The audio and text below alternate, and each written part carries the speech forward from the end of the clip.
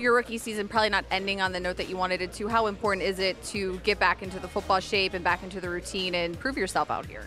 It's important. That's the only way you're going to grow. Uh, first step, you getting better, showing up and, uh, and participating. And I'm thankful I'm able to participate, being 100% healthy.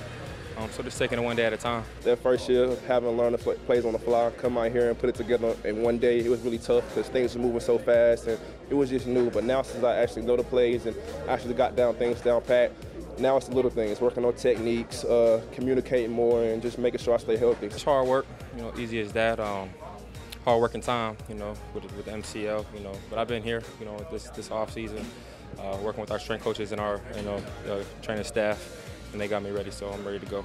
I mean, yeah, my shoulder was messed up, and I couldn't go out here and physically play, but I had to go out here and mentally prepare as far as just learning how to watch film, uh, learning the small things, just not running through plays and things of that nature.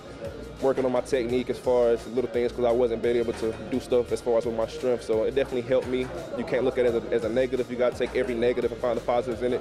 If not, you're going to stay down. And that was the best way I did it was to find the positives in every negative. It's been going good. It's been an opportunity to learn, opportunity to grow as a player and uh, just get some more, uh, you know, game speed experience with, uh, you know, just being out there with uh, Owen, first team O and D. It's just been an opportunity for me to learn. Just little things, getting that first step back, coming out here and just that mobility as far as that. I haven't played football in a year, so hips may be a little tight, things may be a little tight as far as that nature, but I know what I'm capable of. All I got to go out here and just make sure I'm taking care of what I got to as far as on the field, and knowing the plays, and just go out here and compete. Really, nothing's changed. I mean, like I said, I got to go out there and make sure I'm handling my side of the business.